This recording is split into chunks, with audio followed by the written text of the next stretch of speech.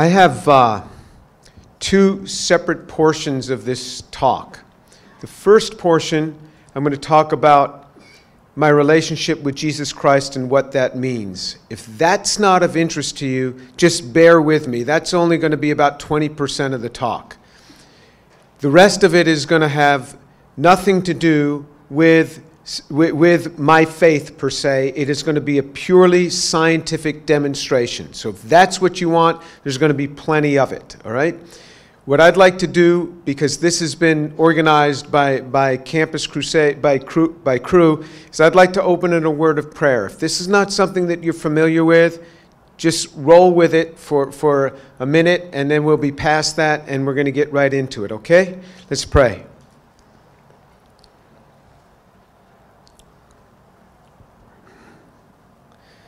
Abba, Father, I thank you, Father, for the opportunity to come and to speak in this place, on this campus, where you visited me 40 years ago and spoke into my heart and into my life. And Father, I pray for your outpouring in this time that you would take and awake, if there be anybody here who's not a believer in Jesus, that you would show them yourself. Kindly speak to their hearts, I pray. And Father, for those here who know you that are struggling, Father, draw them closer to you because of this time. Lord, I lift this time up to you, and I ask for your grace and your mercies and your power for the glory of Jesus. Amen.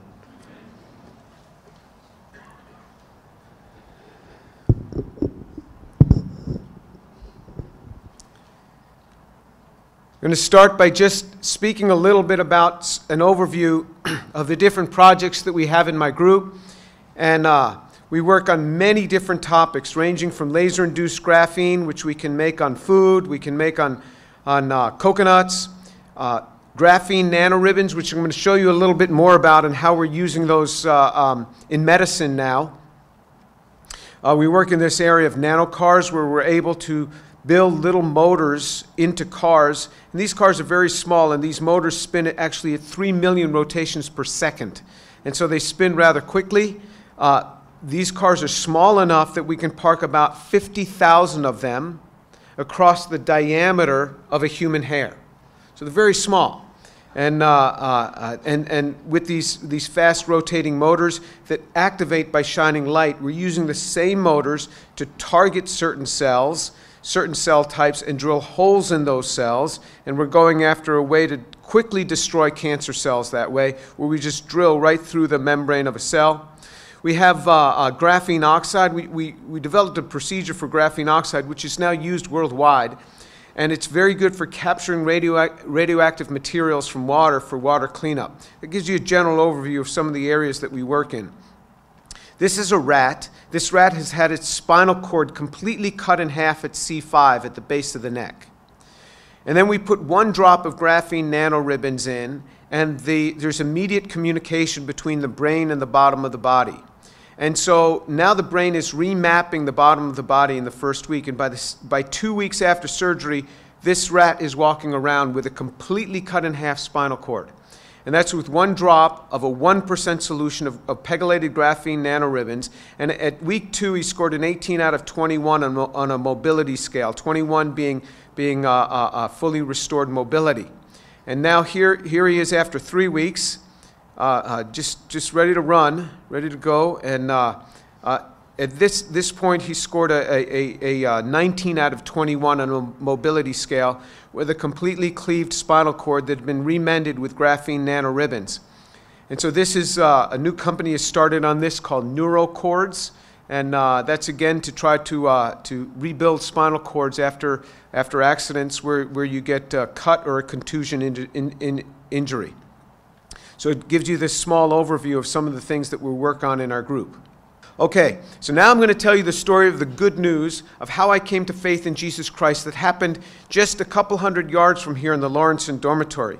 So I was 1977, August 1977, I was doing laundry in the, it was in the basement of Lawrinson dormitory was the laundry room. Is it still there in the basement? Yeah? Okay. Well, I was doing, it was my first load of laundry. And, and I was, uh, talking to a guy in the laundry room, and he played on the football team. And I asked him if he wanted to play pro ball when he graduated. He says, Oh, no, I'm not good enough for that. I said, What do you want to do? He said, Well, maybe lay ministry. And I said, What's lay ministry? He said, Oh, like a missionary. I said, Missionary? We don't need missionaries today. It's 1977. Why do we need missionaries? We got TV. You just put it in there with TV. Why do we need missionaries? He, he, and he said, Can I give you an illustration of the gospel? I said, Sure.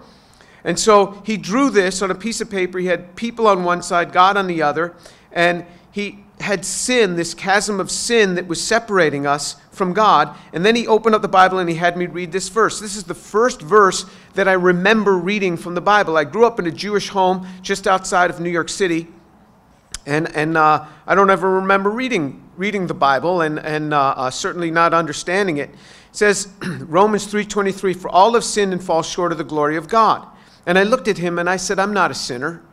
And he said, you know, he was a bit taken back by that. And in modern secular Judaism, the background that I came from, we didn't think about sin very much. We didn't dwell on it. You can go to the synagogue once a year and, and, and uh, uh, on Yom Kippur, and, and you're good to go.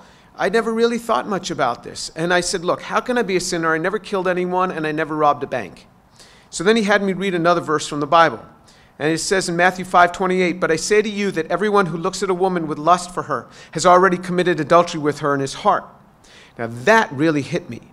Not only was I 18 years old at the time, but I was addicted to pornography. I had become addicted to pornography at the age of 14. And I was working on the Hutchinson River Parkway and these gas stations going into and out of the city on each side of the road. And, and uh, my first job at the age of 14 was to clean the parking lots. And I noticed that the men would throw away their magazines on Friday nights on their way home from, from uh, their work week.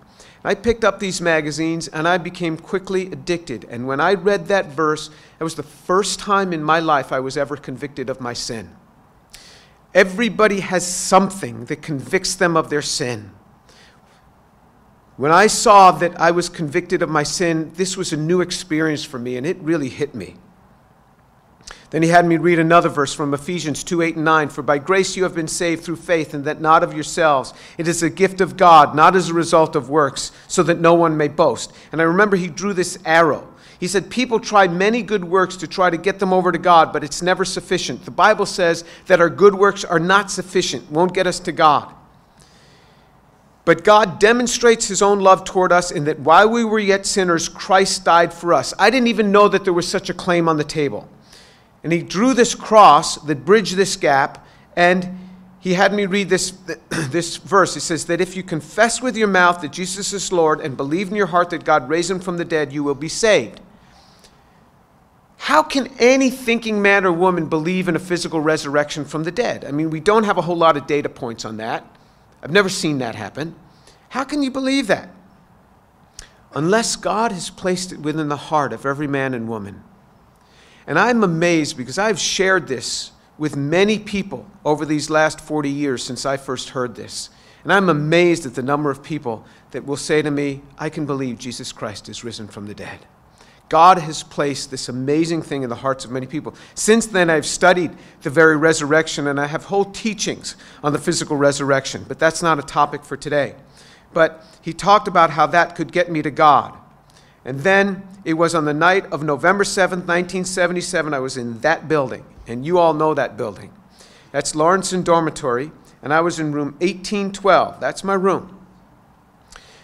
And uh, uh, this was in November. Remember, he had shared with me in August. Now it's November. I had attended a little Bible study on the Gospel of John in, in the common room on that floor uh, for a few months. And I was all alone in that room, and I don't know what prompted me to do this, but I got down on my knees. I never saw Jews get down on their knees. Jews usually stand when we pray. Christians, I saw they, they would sit when they pray. And I got down on my knees and I said, Lord, forgive me because I'm a sinner and come into my heart. And then all of a sudden, this burden that I had been carrying, that I had been convicted of my sin, that I was a sinner, and I knew I couldn't get past this thing, it just started to lift from me. And then it was amazing how this feeling came over me, and then all of a sudden, this forgiveness, and all of a sudden, somebody was standing in my room. My roommate wasn't there, but someone was standing in my room, and I thought, how can this be? How can someone be standing in my room? And I looked, where's this person? And right in front of me, someone was standing. I couldn't see them with my eyes, But all of a sudden, this amazing sense of forgiveness came over me. A peace like I never wanted to get up. And I just started weeping like a baby, which was very unusual for me at the time.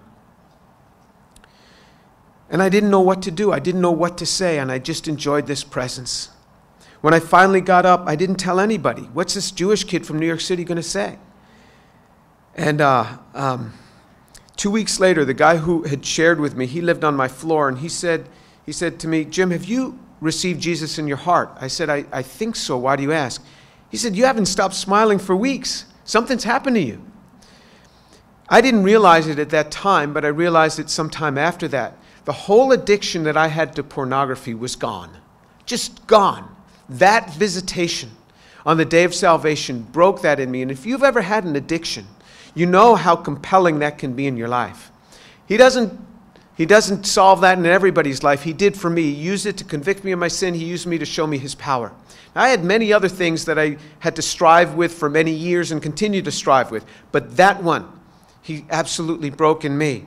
And then I was really blessed to be discipled by several great men. One was Dr. T.E. Koshy from, from uh, International Assembly. He was the evangelical chaplain here. And he was the man who taught me to read the Bible. He used to say, You read the Bible from excuse me, from beginning to end, from Genesis to Revelation. So that's what I started doing. So for almost 40 years, I've had this pattern of reading the scriptures from Genesis to Revelation over and over again. So I start in Genesis chapter 1, and I just pick up where I leave off, left off the day before. And then when I hit Revelation chapter 22, I start again. And uh, I've had this pattern, and he learned it from Brother Bakht Singh, who taught me the same thing. And then there was, when I was in graduate school, Professor Delmar Brosma, who was a professor of uh, entomology, who was also the pastor of the local church that I was in, and Professor uh, Buck Hatch, from, who was at Columbia Bible College at the time when we lived in South Carolina. I spent my first 11 years teaching at the University of South Carolina before I moved to Rice. So I've had great men speak into my life. That's my Christian story. That's my family. God has blessed me with a beautiful family. This is my daughter, Umbreen. She lives in Israel for the past 12 years. She's a mediator between Palestinians and Israelis, fluent in Hebrew and Arabic. This is her husband, Philip, and these are their two kids, my two grandchildren. This is my daughter, Sabrina. She's a lawyer in Houston. My son, Josiah, he's in, in medical school in New York City. And Ben is an investment banker. He graduated from Rice last May. He's an investment banker with JP Morgan uh, in the energy sector in Houston. And so, you know, I, I just look at this and, you know, every good Jewish family needs a doctor, a lawyer, and a banker. So I figure, figure we're pretty well set here. Um, and I know what you're thinking. I know what every guy in here is thinking. How did I get such a beautiful wife? I, I think about this too, all the time. I can't believe that she married me. I think she, she thought I was really rich or that I was going to become really rich. She didn't know that I was only going to make nano dollars. I mean, it just, but anyway, she's, she's, she's a wonderful lady. And God really blessed me. I prayed a lot. I, I would break every day at noontime. I would go up to Hendricks Chapel and I'd go all the way up to the top of the stairwell and I would pray. One of my prayers was that the Lord would bring me a, a, a, a great spouse. And he really did. In fact, I didn't realize, even at the time that we got married, what a treasure she was. We've been married 36 years now.